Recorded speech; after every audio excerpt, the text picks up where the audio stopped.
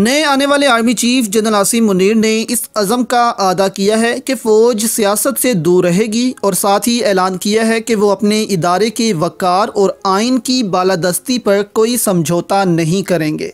Parliament चाहे तो वो आर्मी चीफ की मुद्दत मुलाजमत में तोसी के कानून को ख़त्म करने के लिए आज़ाद है, क्योंकि कानून साजी फ़ौज का काम नहीं है। उन्होंने कहा कि फ़ौज का काम वफाकी हकूमत के साथ मामला शेयर करना और इसके अहकाम मानना है।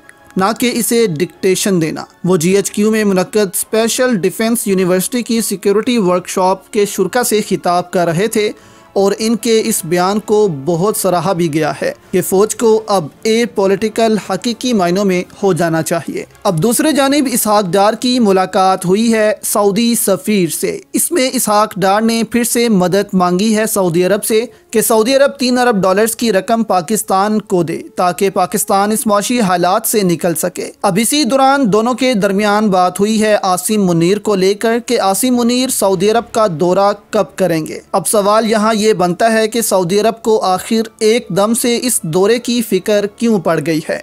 देखें, सऊदी अरब के हमेशा ताल्लुक पाकिस्तान की इस्टेब्लिशमेंट से अच्छे रहते हैं, हकूमत की नस्बत। जैसे कमर बाजवा की मिसाल ले लें आप कमर बाजवा के ताल्लुक भी अरब दुनिया के साथ बहुत अच्छे थे और जनरल रिटायर्ड कमर बाजवा को तो सऊदी अरब का हाईएस्ट अवार्ड भी मिल चुका है। इसलिए अब सऊदी अरब आसिम मुनीर के साथ भी इन ताल्लुकात को आगे लेकर जाना चाहता है और इस हवाले से बातचीत चल रही है कि आसिम मुनीर जल्द सऊदी अरब का दौरा भी करेंगे और पाकिस्तान के ताल्लुकात सऊदी अरब के साथ अच्छे होंगे। लेकिन यहाँ पर यह होना चाहिए कि आसिम मुनीर सऊदी अरब के आर्मी चीफ से ही मुलाकातें करें, सियासी मुलाकातों से अब परहेज़ किया जाए। क्योंकि इससे मुल्क को पहले ही बहुत नुकसान पहुँचा है। अब अगर वो दोबारा से इदारे को यही काम करवाते हैं तो इससे मुल्क का नुकसान होगा।